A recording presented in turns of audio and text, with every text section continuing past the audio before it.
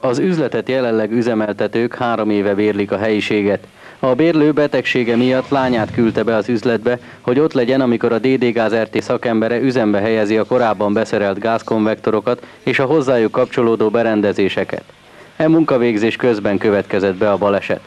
A munkát végző, később megsérült szakember érthetően nem kívánt nyilatkozni, a bérlő és lánya pedig kérték, hogy képben ne jelenjenek meg. Hangjukat is csak torzítva adjuk közre. A pult mögött álltam, az úr pedig hátul szerelte fel az órát, és hirtelen egy hatalmas nyomást éreztem meleget hátulról, a férfi rám esett hátulról, kiszakadt az ajtó,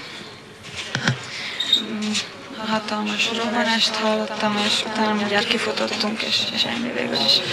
Hazamentem édesanyámért, de egy olyan 10 perc, 15 perc lehetett, még ide értek.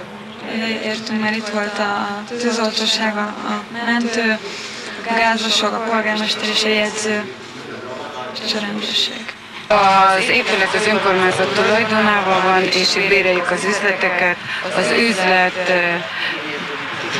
csak a nagyobb, nem túl nagy a kár, az ajtó, ami egyedül, ami tönkrement, és belső károk nincsenek, van egy, egy közfal, ami látunk kidőlt, és egy kicsit meg hát a mennyezet. Az első jelek alapján, az első vizsgálatok alapján mi az, ami valószínűsíthető?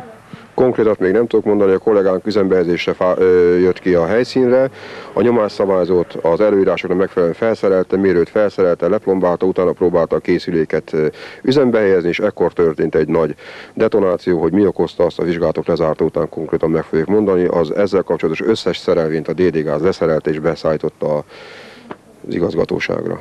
A kollégájukat ellátták a mentők, milyen sérüléseket szenvedett? Igen, ellátták, elsőfokú égési sérülést szenvedett az arcán és a bal karján.